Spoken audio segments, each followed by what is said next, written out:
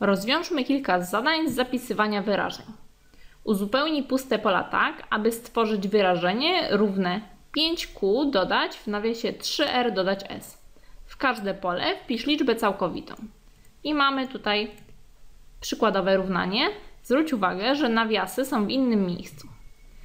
Na szczęście mamy tylko dodawanie. Zatem te nawiasy możemy dowolnie zmienić. Zawsze będzie tutaj 5q, w innym miejscu nie mamy wyrazu podobnego, czyli tu będzie 5q, dodać 3r, dodać 1s. Mamy w każde pole wpisać liczbę całkowitą, także tutaj też wpisujemy jedynkę. Nie ma znaczenia, czy ten nawias będzie tutaj, czy ten nawias będzie tutaj, czy w ogóle by go nie było. Mamy tutaj dodawanie, zatem możemy tak napisać. Sprawdźmy. Kolejne zadanie. Czy 2j dodać 2 jest równoważne 2j dodać 1? Czy to są te same wyrażenia? Zastanów się, jak myślisz. 2j, tu mamy 2j i tutaj mamy 2j. Teraz dodajemy tutaj i tutaj. Tu dodajemy dwójkę, a tu dodajemy jedynkę. Czyli tu dodajemy więcej, tu tutaj dodajemy mniej. Czy to może być równoważne? Nie, nie może być równoważne. Niestety tak nie będzie. Uzupełnij wyrażenie tak, aby było równoważne do L plus M plus L plus N plus M plus M. Tutaj mamy 2 razy L, tutaj mamy 3 razy M i tutaj mamy 1 raz N. Czyli musimy dodać te wyrazy podobne. L dodać L to jest 2L. Mamy 2 razy L. Dodać 1, 2, 3 razy mamy M. 3M tutaj 3m, dodać 1 raz n, czyli dodać n. To jest 2l, dodać n, dodać 3m. Dodaliśmy wyrazy podobne, czyli te same literki. L dodać L to 2L. M dodać M dodać M to 3M i N pozostaje samo. Zatem sprawdźmy. Przypominam, że dodawanie jest przemienne, zatem nie ma znaczenia w jakiej kolejności zapiszesz te, te wyrażenia. Uzupełnij puste pola tak, aby stworzyć wyrażenie równe z dodać 4y dodać z. Zwróć uwagę, że tutaj mamy z i tutaj mamy z. W odpowiedzi mamy takie dziwne wyrażenie. Mamy nawias, w nawiasie z dodać jakaś liczba razy y i przed nawiasem też jakaś liczba. Przepiszę to na tablicę i spróbujemy zrobić to razem. z dodać 4y dodać z. Czyli mamy z dodać 4y dodać z i w odpowiedzi ma być coś takiego, jakaś liczba razy z dodać jakaś liczba razy y. Tutaj napiszmy te okienka. Tu mamy wstawić jakąś liczbę. Sprawdźmy, czy dobrze przepisałam. Zgadza się. Zróbmy razem to zadanie. z dodać 4y dodać z. To się równa ile?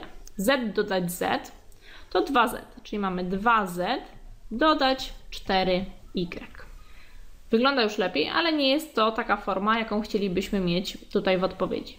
Co zatem trzeba zrobić? Trzeba wyłączyć czynnik przed nawias, czyli jakąś liczbę. Wspólna liczba, którą da się wyłączyć przed nawias, to 2. 2 wyłączymy przed nawias i wtedy w nawiasie zostanie nam z. Bo przypominam, że liczbę przed nawiasem mnożymy przez każdy z elementów z nawiasu. Z dodać 4y tutaj było, przed nawiasem jest 2, czyli tutaj zostanie nam 2y. 2 razy z to jest 2z, 2 razy 2y to jest 4y. Czyli tutaj muszę wpisać dwójkę, a tutaj też dwójkę. Sprawdźmy. 2 i tutaj też 2. I ostatnie zadanie.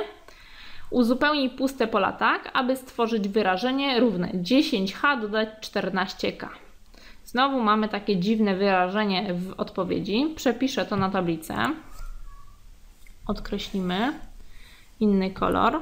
Mieliśmy 10h dodać 14k i to ma być równe kwadracik w nawiasie. Znowu kwadracik na jakąś liczbę k dodać 5h. Teraz, jak widzisz, analogicznie do tego, co robiliśmy tutaj, też trzeba wyłączyć jakąś liczbę przed nawias. Jaką liczbę wyłączymy tym razem przed nawias? Tutaj się pomyliłam, powinno być napisane K. To jest K. 10H dodać 14K, tu K, tu H. W porządku. Zamienimy sobie miejscami te wyrazy, czyli napiszę 14K dodać 10H. Tu mamy najpierw K, tu mamy H. I teraz w nawiasie ma zostać 5H, czyli przed nawiasem powinna być dwójka, żeby z tej piątki zrobić dziesiątkę. 2 razy 5 to jest 10H, a tyle faktycznie powinniśmy mieć.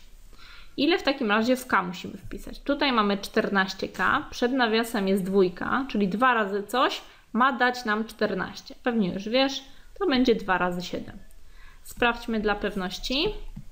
Mnożymy przez nawias, przez każdy z tych czynników. 2 razy 7 to jest 14K. Dodać przepisujemy. 2 razy 5H to jest 10H. Wyszło nam to samo, co po lewej stronie. Sprawdźmy. 2, 7. Zgadza się. Rozwiązałam 5 zadań. W związku z tym dostałam punkty, odznakę. Zachęcam Was do ćwiczenia na polskim portalu Khan Academy.